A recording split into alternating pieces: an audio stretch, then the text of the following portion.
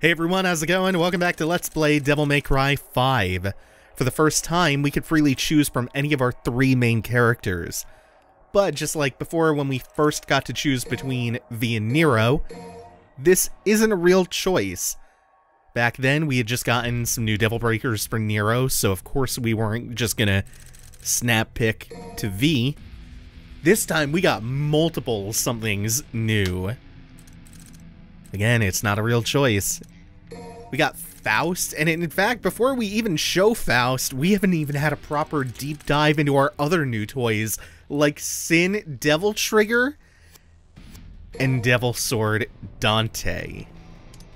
This is a nice uh, short mission, and it's pretty much all combat arenas. There is no level design here. It's just, uh, it's just like an inverted tower. It's Bloody Palace, except We'll Short. at some point, but for now, one foot in front of the other. so we can actually properly see Devil Sword Dante now, which is cool as hell, and Sin DT a lot in this mission. And then we'll get more into Faust next time. Uh, so we have our combo A, we have our combo B, we have our, uh, we have our, God, I want to call it air raid. No, we have our uh, aerial rave. And combo C. That's not with the style button. This is the style button doing this. Our style button in Swordmaster is now purely about summon swords.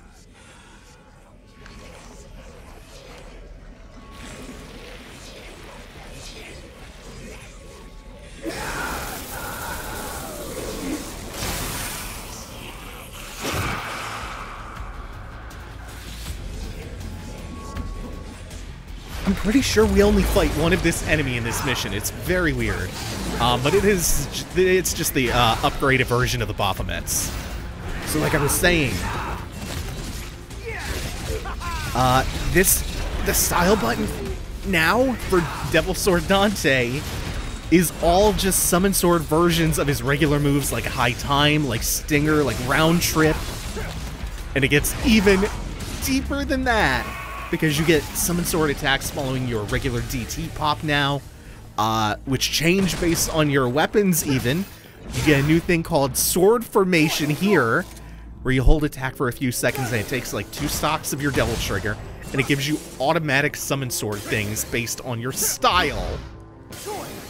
You could see the formation of the summon sword switching around based on which style I switch to. And these attacks with the swords, now that I have sword formation active, are coming out automatically until it fades, as it just did. oh my god, it's so cool! And there's plenty of, like, really hardy fodder enemies to show stuff off with. And also a couple of aspects, oh, like that.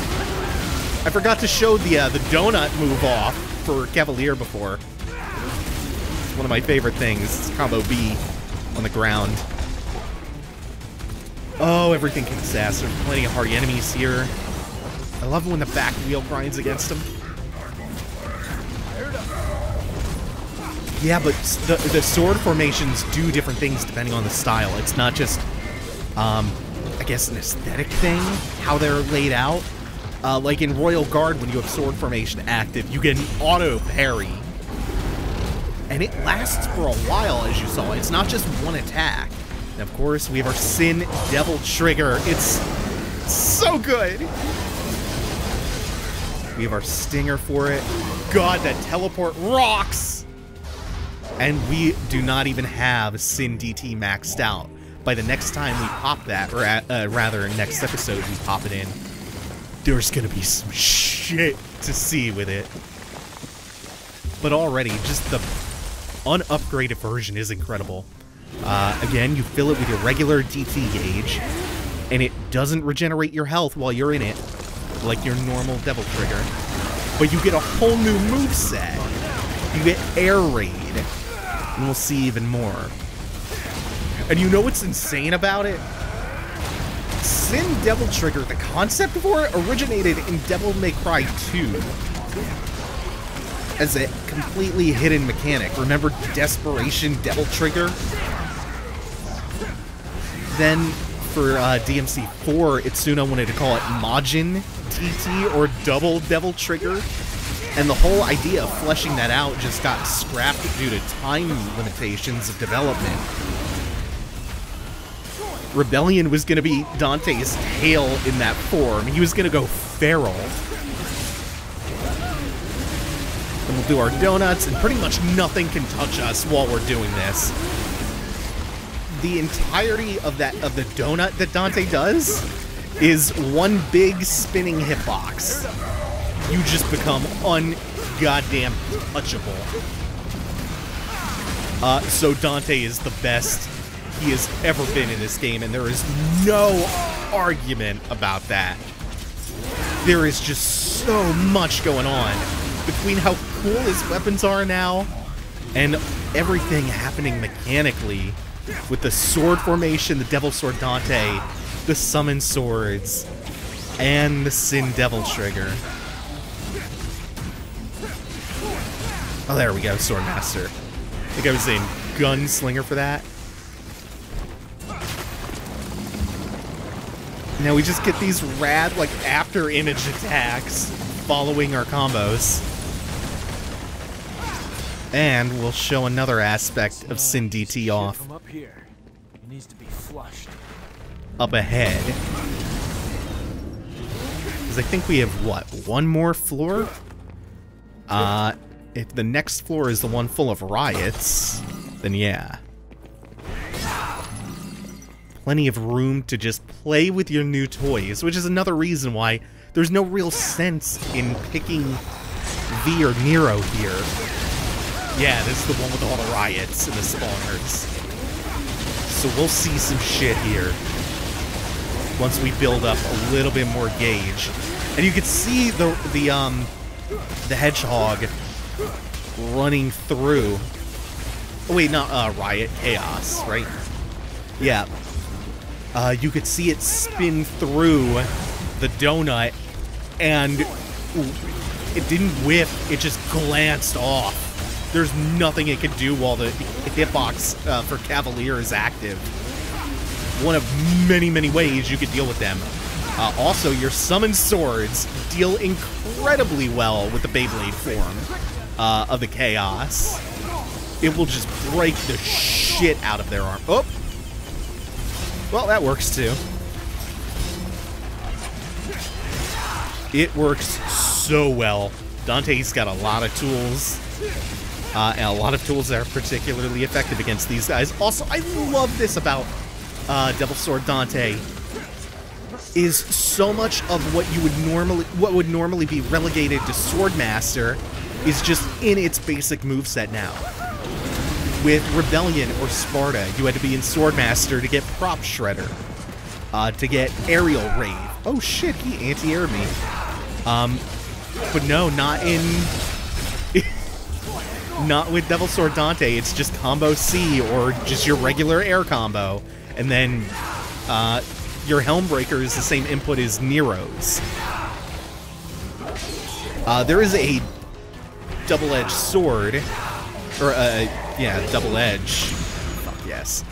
Uh, two, having Prop Shredder edge your combo C, in that you can't just get it out instantly anymore, and that's about the only downside to it. Now, let's see some real shit. Can I find a healthier enemy than this? Uh, so if you hold square and triangle together, it will immediately drain the rest of your Sin DT, but it will do this! Holy shit, it's so good. We have another spawner to take care of, which apparently has just been active this whole fight. So we had a couple extra chaoses to deal with. This is fine. And we even glanced off of him with that, uh, with the, this uh, Balrog double jump that does damage. Holy shit! And end it with style and distorted real impact. You can even see while I'm in DT with Balrog out, summon sword combos automatically. So there is still some merit to your regular DT form And Dante now has a lot of different uses for DT, a lot like V. V has a ton of different ways to spend his Devil Trigger, and now so does Dante. He can spend it on Sword Formation, he can spend it on his regular DT, he can charge Sin DT with it, uh, and then there's, of course, the Imperfect Royal Guard stuff, uh, which costs DT if you mess it up, or if you just want to block.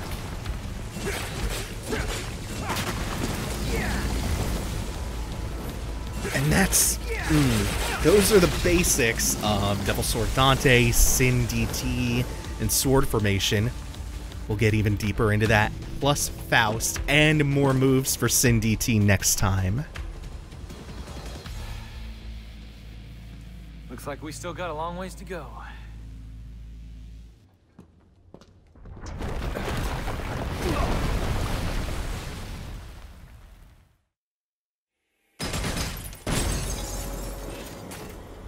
All right.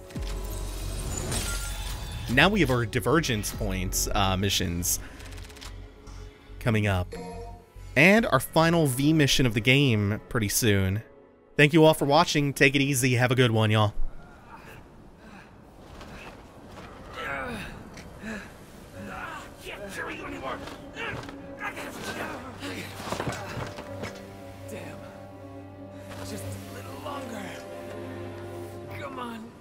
I